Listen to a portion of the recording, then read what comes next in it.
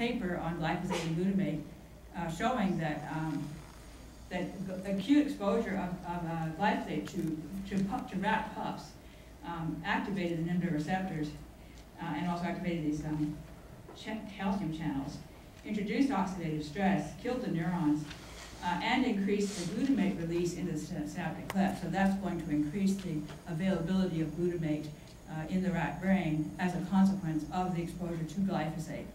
Um, and so depleted glutathione, which is an important antioxidant, and it, and it showed evidence of damage to the fats from the exposure uh, to the oxygen. Um, so uh, this gets even more interesting when you start to think back again at molecular mimicry, and think about MMR, similar to the story that I told with uh, multiple sclerosis and Acinetobacter, it turns out that MMR also has a protein that matches uh, a, a, piece of the myelin basic protein. So just like the story with the, with um, multiple sclerosis, you could have a measles virus grown on gelatin that's, that's contaminated with glyphosate. The virus puts the, uh, the glyphosate into its hemagglutinin, and hemagglutinin is, is the thing you need to get an, an antibody to in order to have the vaccine take. So that's what they're looking for. But if you get the measles uh, virus, which is a live virus, if, the infection takes hold, again, because you've got a weakened immune system because of your chronic exposure to glyphosate, you get uh, infection in the gut, and then that migrates into the brain. So you have the measles infection in the brain, which is going to cause a kind of an encephalopathy reaction. And, um, and then the hemagglutinin is an, is, matches the uh, myelin basic protein. So you get the autoantibodies to the, and to the myelin sheath, uh, which is uh, connected to autism. So autism actually has a link. In, in, papers, they've shown high titers of antibodies to hemagglutinin of measles and high titers of autoantibodies to myelin basic protein. So this all kind of makes a, a good story. I mean, a scary story, but it, it kind of works as a way to explain the issues with MMR. Uh, we're seeing more and more issues with MMR in recent times. And in fact, I just got email from someone who shared with me that his daughter uh, has autism. She was given an MMR vaccine when she was young. Um, it gave her measles. She got a live measles infection um, and caused a kind of an anaphylactic shock. It also then, her, his wife got measles from this child. Uh, the, the wife got measles too. The wife developed multiple sclerosis. The child regressed into autism. And at this point, when he sent me the message, the wife was in a nursing home and he was bringing up the child. So uh, glyphosate introduces leaky gut due to the overgrowth of the pathogens. That goes to a leaky brain barrier, and that allows the antibody to get into the brain and destroy the myelin sheath. Neurological diseases, um, really fascinating. When we were looking for glycines, we found, and I'm sure a lot of you know about amyloid beta.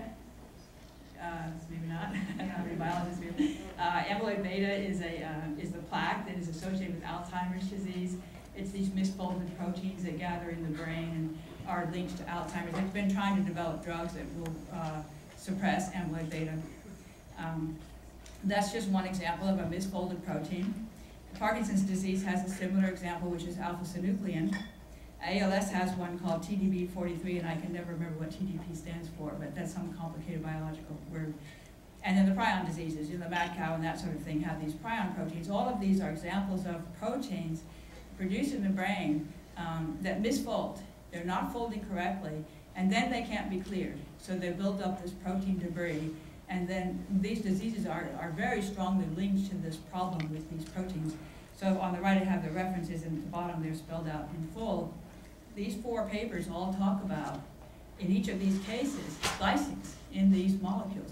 These proteins that are misfolding have critical glycines that absolutely they depend on to fold correctly and to work correctly.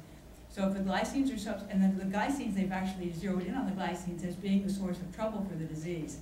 And they're not thinking of glyphosate, but they should be. It's not the glycine. A conserved glycine in a, in a protein means that that protein wants glycine there and it ought to work properly. But if the glycine is glyphosate instead, it doesn't work anymore. And then you get the trouble. The glyphosate makes it more soluble, it makes it resistant to being broken down, and it makes it not work correctly.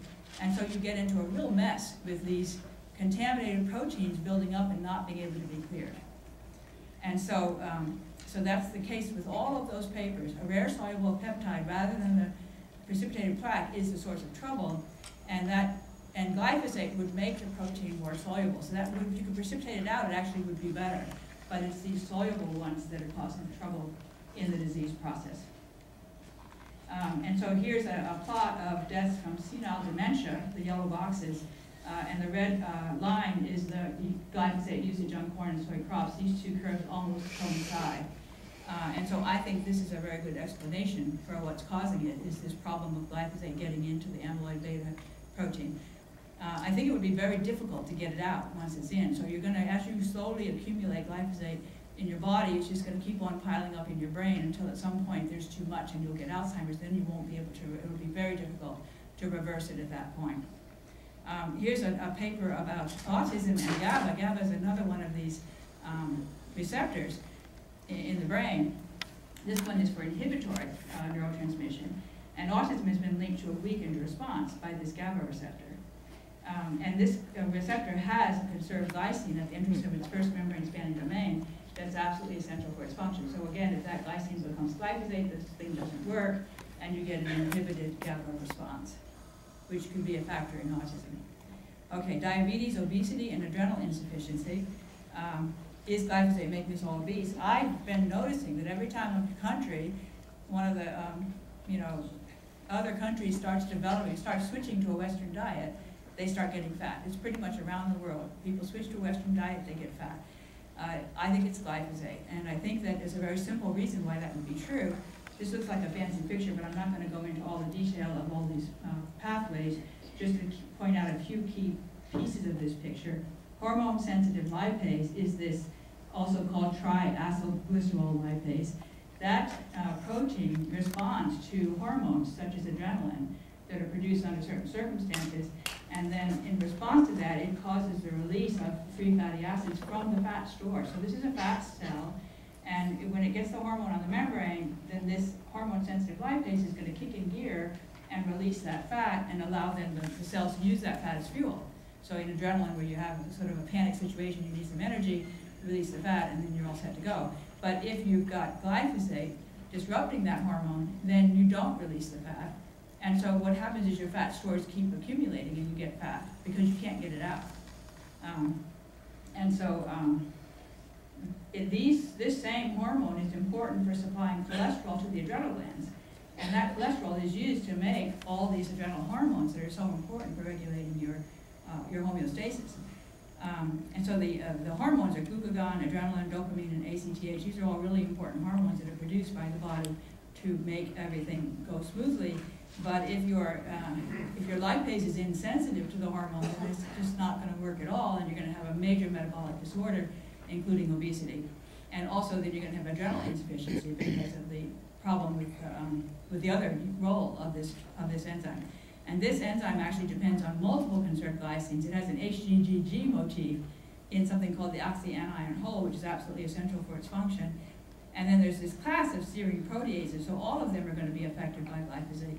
And this is a member of that class, and they have this GXSXG motif, so glycine on both ends of that um, which is essential for their enzyme activity. So these are specific proteins where glycine plays a really important role, where they'll be messed up with this glyphosate.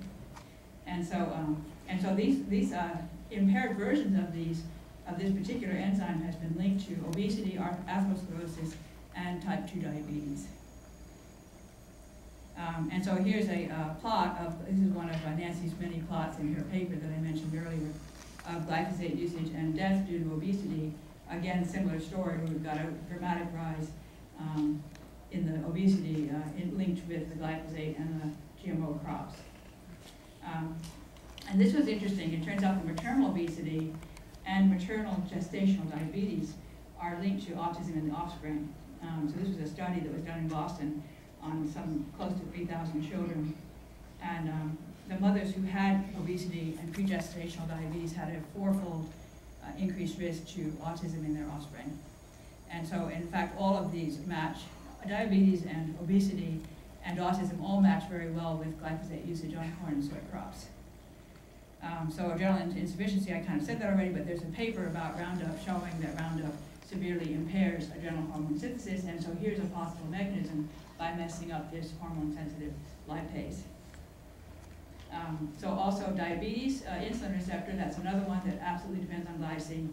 Um, and so glucagon release is regulated by the insulin receptors in the liver. And so uh, excess glucose is released if those receptors are defective.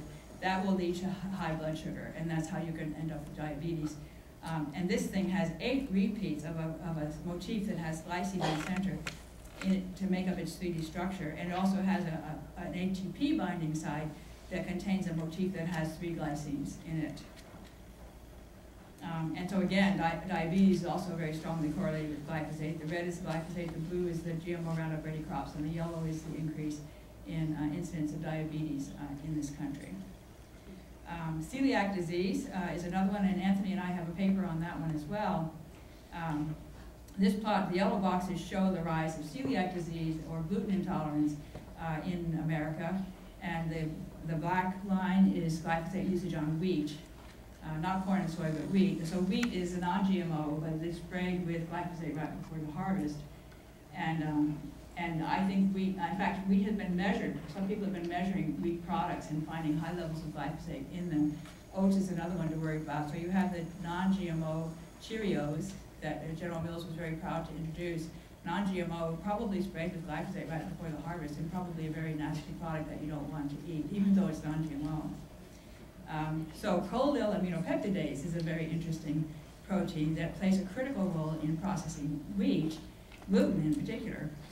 And um, the, the, the, how you get celiac disease is because you can't break down gluten. And gluten turns out to have a lot of proline, and this uh, enzyme specializes in breaking the gluten at the prolines. Proline turns out to be difficult to break down. And uh, it, this enzyme, first of all, depends on manganese as a catalyst, and glyphosate makes manganese unavailable.